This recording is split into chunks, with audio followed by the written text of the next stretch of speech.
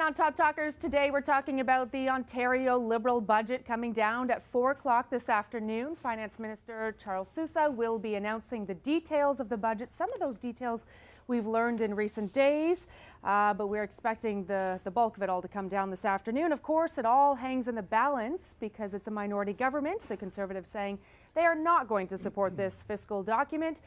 The NDP, well, they seem to hold the power with this because if they support it, the Liberals continue. If they do not, we are headed to the polls in another election. Our panel today includes Connie B from Majic 100, Alison Sandor from CFRA, and Rick Gibbons also from CFRA. Right. Rick, let's start with you. Sure. This is an important day for the Liberals it's do or die at this point. Well, there's no question. It's more than a budget. I mean, the government itself is at stake, as it always is when it brings down a budget in a minority government. That said, it will bring back, bring down not a Liberal document, but really an NDP document to some degree. Mm -hmm. uh, this is a budget uh, that uh, the NDP has drawn a line in the sand on. Uh, either submit to five demands of the NDP or uh, we could see an election. Well, I can tell you the Premier doesn't want an election. I'm not even sure the NDP does. Uh, but the Liberals have been very upfront. Uh, they are going to uh, uh, see to all of the demands of the NDP in a bid to keep this uh, government alive with some polls recently suggesting, Allison, that the NDP just doesn't really have the numbers, and it might not be a good idea for them to not support this and trigger an election. Are they wise to, to just support this? They've got some of the things that they want. We already know of for sure. For example, the auto premiums uh, redu reduction by 15%. Is it wise for them to just you know, go with this budget, stay the course, and, and build a little on that momentum? Well, you take a poll or leave a poll, right? So they're fluctuating all the time. But as you said, you mentioned, the recent polls show the PCs and the Liberals neck and neck. And the reality of the situation is the NDP does not want to force an election to see a PC minority government. That's not something they want to do. And Tim Hudak has been very clear, even before they announced when the budget would be descending, that he would not support any sort of Liberal budget. And speaking with Energy Minister Bob Chiarelli last week, he said, he told me that he was cautiously optimistic that this budget will pass because they literally have catered to every single one of the NDP's needs. Now, whether or not the NDP feel that they're sufficiently covered, that's what we're waiting to see.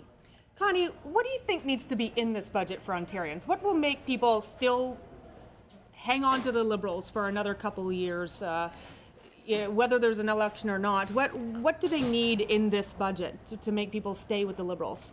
I just think they need to follow through whatever they present and promise. You know, it's like, you know, it's that typical saying that they'll promise anything to stay in power and win the next election. I think they just need to follow through on it.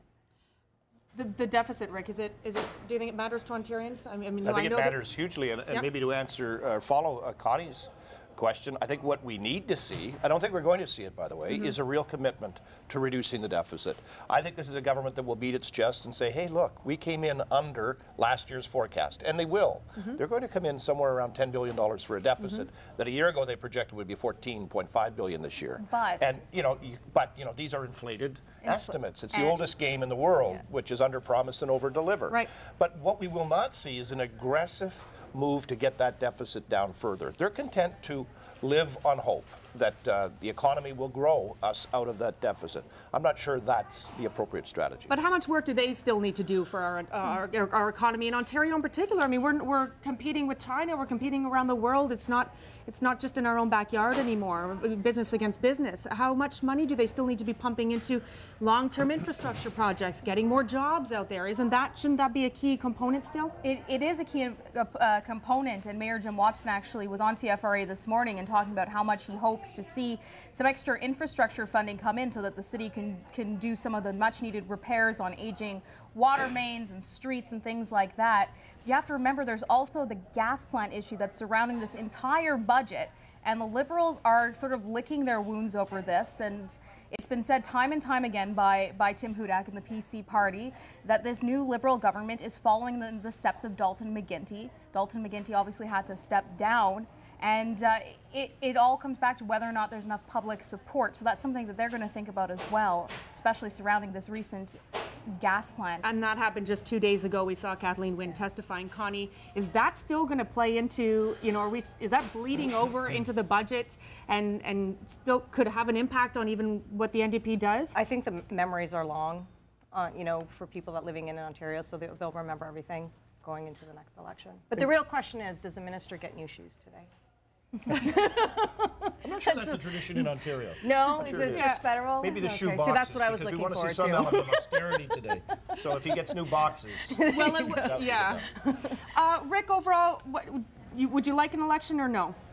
I think the province could use an election. Yeah, I think I think uh, this government has, to some degree, um, lost its credibility with a lot of scandal, uh, albeit a lot of it, uh, you know, owned by the predecessor of Kathleen Wynne. But I think she she owes it to Ontarians to um, freshen the mandate. I know it's only a little over a year. It seems odd to say that. Right. But this is a government that's lost an awful lot of credibility. And yeah, I, I, I think we do need a fresh approach. And I think Ontarians have the right uh, to, to reappraise the support they've given this government, given all of the scandals. Yeah, I think it's a good point. All right, we're going to end on that. Thanks very much to our panel. We got Connie V, uh, Alison Sandor, Rick Gibbons. Uh, make sure you listen to Majic, CFRA. You get all the details on the budget. You guys are Yep. doing some extensive coverage this afternoon on that. And of course, CTV News at 6 tonight will have all that as well.